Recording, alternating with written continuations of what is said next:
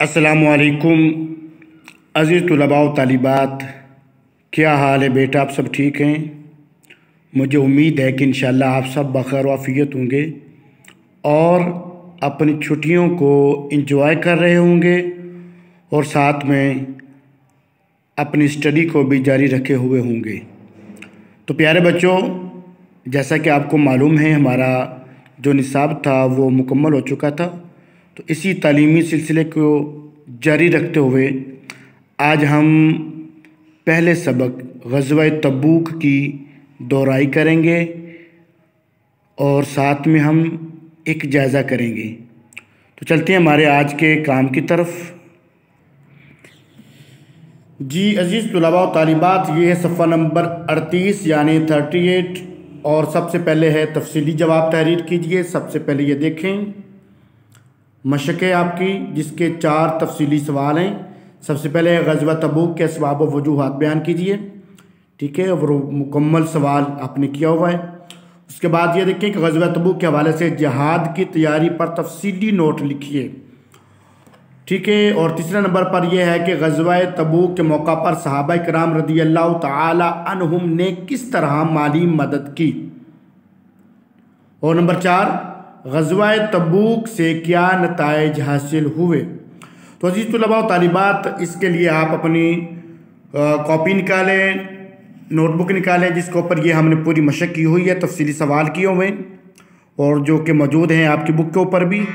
और आगे है जी, नंबर चार जी प्यारे बच्चों, और आगे देखें, यह है सवाल नंबर दो। मुख्तसर जवाब तहरीर कीजिए। इसमें सबसे पहले सवाल था कि हरकल कौन था और वो किसके खिलाफ लश्कर तैयार कर रहा था। नंबर दो, तबूक मदीना मुनवरा से कितने किलोमीटर के फासले पर वाक़ है? नंबर तीन है, हजूर अक्रम सल्लल्लाहु अलैहि ने तबूक में कितने दिन क़याम फरमाया? ठीक है। ये मुकम्मल है, और ये चार हैं जी। चौथा सवाल ये है कि साहबा कराम रदी अल्लाह ताली उनकी आँखों में आँसू क्यों आ गए? ठीक है? जी, आगे बेटा आपको। आगे जी, ये देखें, सबसे पहले जो सवाल है, तीन नंबर पर, वो है खाली जगह पूर कीजिए। इसकी दोहराई करें। खाली जगह सारी देखें आप। ये आज के लिए सिर्फ़ हम इतना ही काम करेंगे। बाकी जो है, इसके सवाल तो जवाब आप ये देखें, नंबर चार पे दुरुस्त जवाब के दायरा लगाइए। वो हैं ये मुकम्मल तौर पर मशक में आपके साथ आज शेयर कर रहा हूँ। लेकिन आपने इस पूरी मशक की अच्छी तरह पहले तो दोहराई करनी है। इसके सवाल तो जवाब फिर से देखने हैं। अच्छी तरह उनको याद करना है। और जब याद हो जाएँ और उसके बाद मैं आपके साथ अब एक जायज़ा जो है, वो आपका शेयर कर रहा हूँ। ये गजबा तबूक का आधा जायज़ा हम कर रहे हैं। आधा जायज़ा इन अगली वीडियो में करेंगे। ठीक है? जी अज़ीज़ अजीज़ुलबा तालिबात, इस्लामियात, जायज़ा नंबर एक, जमात अफ्तम, उनवान गजवा तबूक। ठीक है?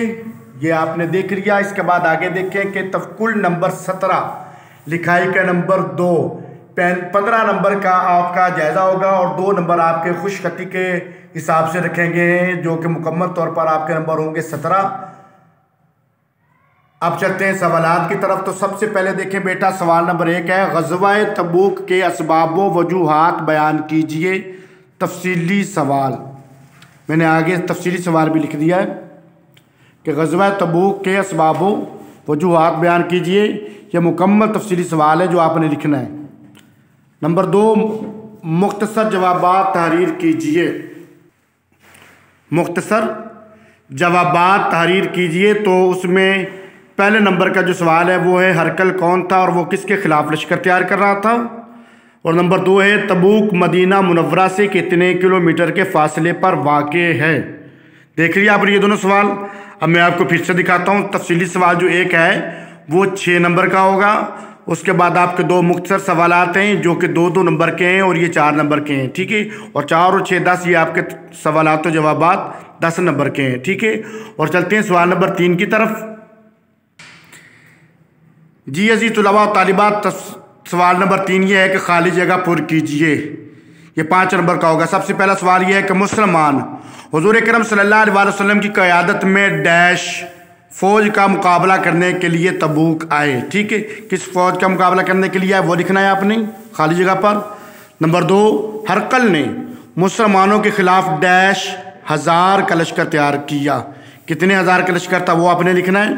नंबर तीन, हज़रत खाली जगह। आगे जी ने अपने घर का आधा सामान हजूर अक्रम वसल्लम की खिदमत में पेश किया। वो कौन से साहबी रसूल थे अलैहि वसल्लम? आपने उनका यहाँ पे नाम लिखना है खाली जगह पर। नंबर चार, मुसलमानों ने तबूक के मुकाम पर डैश रोज़ तक क्याम किया। कितने रोज़ तक क्याम किया था, ये आपने लिखना है। आगे जी नंबर पाँच, मुसलमानों की सल्तनत में इजाफा हुआ और उनको डैश तहफ़ हासिल हो गया। ठीक है ये आपने लिखना है, ये आपका खाली जगह का सवाल है सवाल है आपके और ये पाँच नंबर के हैं। जीतुलबा तालिबात फिर से मैं आपसे कहना चाह रहा हूँ कि ये मुकम्मल जो आपका जायज़ा होगा, आपने इसको कॉपियों के ऊपर लिखना है और प्रॉपरली आपने तारीख़ और दिन साथ में लिखना है, जिस दिन आपने ये काम करना है। वो तारीख भी लिखनी है साथ में और दिन भी लिखना है और साथ में आपने मार्जन लाइन भी लगानी है। ठीक है, खूबसूरत करके लिखिएगा खुश खत करके लिखिएगा और जायज़े को इंजॉय करके लिखिएगा। ठीक है? अल्लाह आपका निगेबान। असल वरहमल वरहमतुल्लाहि व